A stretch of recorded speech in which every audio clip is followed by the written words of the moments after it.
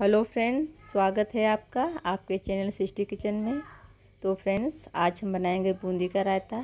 बूंदी का रायता बनाने से पहले जिन दोस्तों ने मेरे चैनल को सब्सक्राइब नहीं किया है, प्लीज़ मेरे चैनल को सब्सक्राइब कर दें, लाइक कर दें और बेल आइकन को प्रेस कर दें, जिससे मैं कोई भी वीडियो डालूँगी। सबसे पहले नोटिफिकेशन आपके पास पहुँचेगा और जिन दोस्तों ने मेरे चैनल को सब्सक्राइब किया है, उनका तहे दिल से शुक्रिया। तो दोस्तों, मैंने यहाँ पे दही लिया है। दही में बूंदी डालूँगी। बूंदी को मैंने घर पे बनाया है। और इसको अच्छे से मिक्स करेंगे।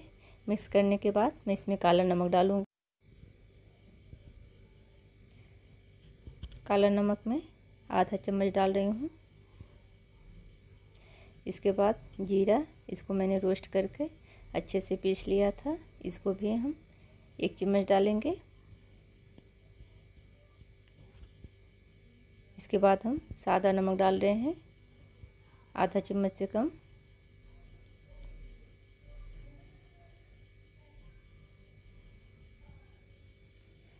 और रायता मसाला, इसको भी हम डालेंगे। तो यहाँ पे मैं आधा चम्मच रायता मसाला डाल रही हूँ और सबको डालने के बाद अच्छे से मिक्स करेंगे।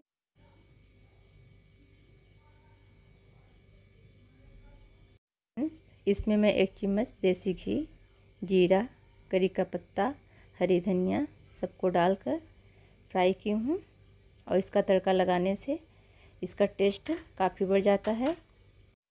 आप इस तरीके से एक बार रायता बना के देखिए, आपको बहुत पसंद आएगा।